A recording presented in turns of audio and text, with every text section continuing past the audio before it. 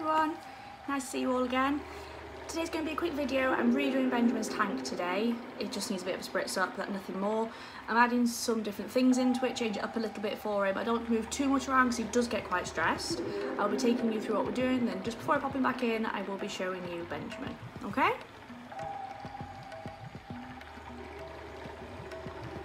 So to start off with, in Benjamin's Viv, I have this underneath the coca, un underneath the,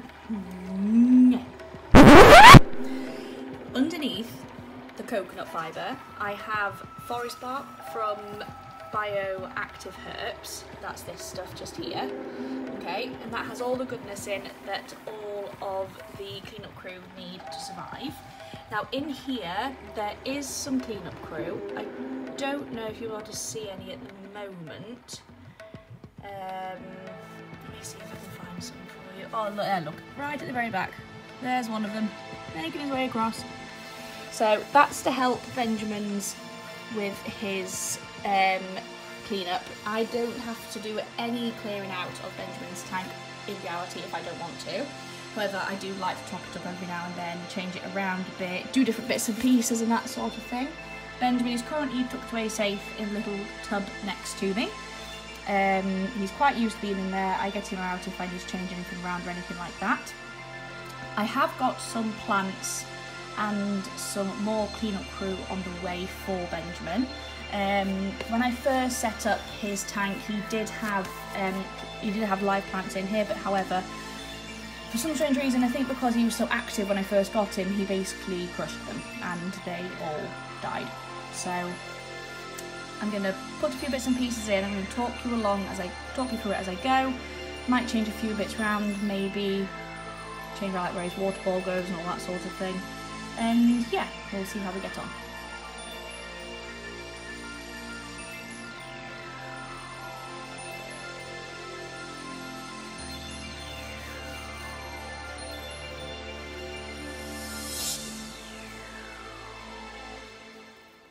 Okay, so this is our finished product.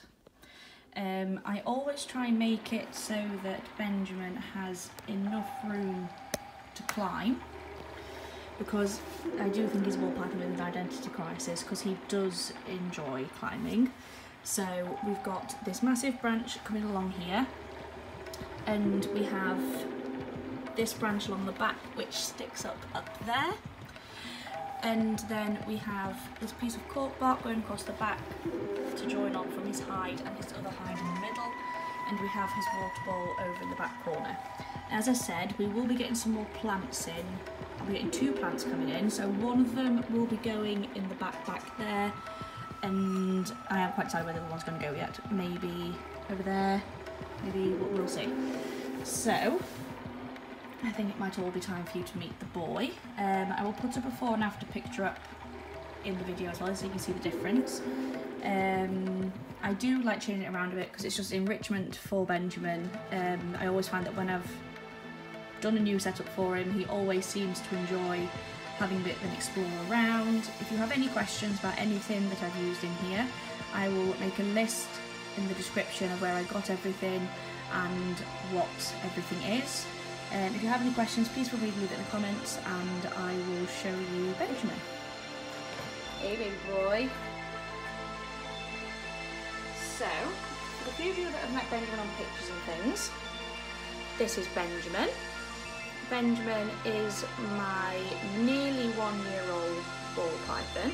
I got him from a breeder down near Southampton, bear in I live in the UK. Um, I did actually travel three and a bit hours to get Benjamin and he came all the way back in the car with me once I got his viv set up. Um, it wasn't one of those things where I was looking for a, ben a ball python like Benjamin. I didn't really have a favourite morph I was particularly looking out for. I very much thought it'll be the sort of thing where the snake will pick me. And I had looked at one other ball python before Benjamin and I really liked him and I had put deposit on to hold him. Um, but then I saw Benjamin and I don't know what it was about him, I just fell in love with him straight away. Um, when I contacted Robert who bred him, shout out to Robert, um, he also had Benjamin's sister who was out the same clutch as him available for sale as well, um, and she was a Belle, I think, um, Blue Eyes Leucistic, and she was gorgeous as well. She was really lovely, but there was just something about Benjamin. He said that when I went to meet him, he did say to me, I warn you, he is quite a nervous little snake. He spends most of his time balled up. Don't be surprised if he won't uncoil for the first time. And within a matter of minutes, and he was out exploring. I mean, he was tiny compared to now. He was literally two, three weeks old. He was, he literally fitted in the ball of my hand. It was so adorable. And as soon as he came out and started adventuring, looking round, and he came right up to me, and he literally looked me straight in the eyes and then booped me on the end of his nose with his little snoot. So at that point I was like, yes, this is the boy for me, and I just adore him. He's mummy's boy, massively so. He's not the bravest in the world, he's a little bit of a baby, um, but he's very, very curious. He loves coming out with me, and he thinks the dog is very amusing. He'll sit and stare at the dog for hours. If, if our dog comes in here, and Benjamin's out and not, not in his hide, he will actually just sit and stare at Bernie and it is hysterical. Bernie, our dog, is petrified of him and he's Beagle, so, you know.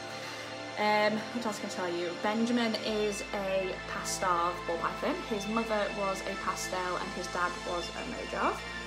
Um, we did wonder if his colour would die down a little bit, um, but it seems to be getting stronger and stronger with every shed.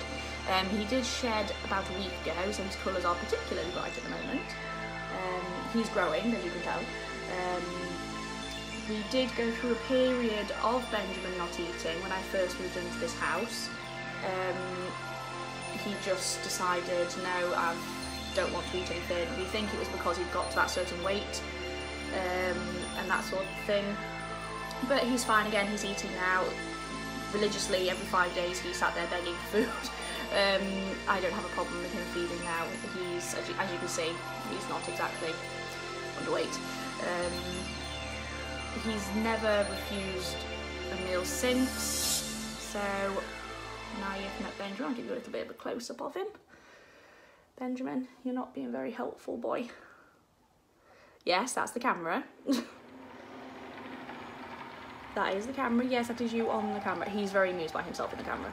He always has been. So I'll show you his colours a little bit closer. They're Benjamin's colours. You've seen Benjamin Snoot. So yeah, we'll pop him back in and we'll pop the glass back in and we'll see what he thinks. So here's, here's for the moment of truth. Pop Benjamin back into his home. He's one of these things where as soon as I put him in, yeah, yeah, not not interested in the slightest. Go back, go back into your home. Go back in. Go back in. Go in an adventure. So as you can see, he is quite, he is getting long. He's like, oh, mummy, change my home around.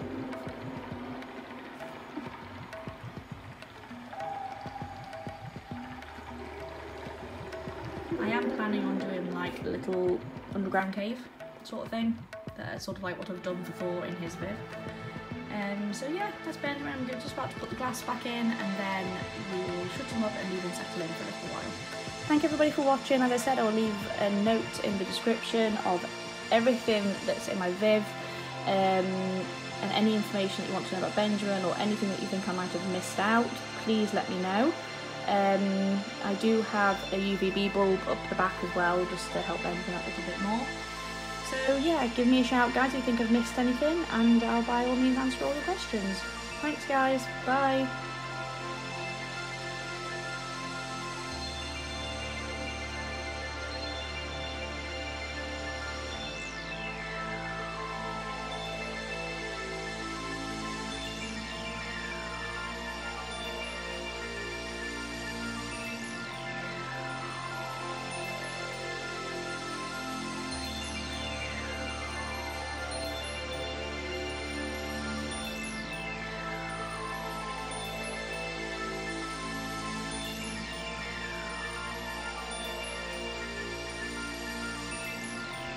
Hey guys, if you enjoyed this video, please feel free to give us a thumbs up and don't forget to click that subscribe button to always get our notifications.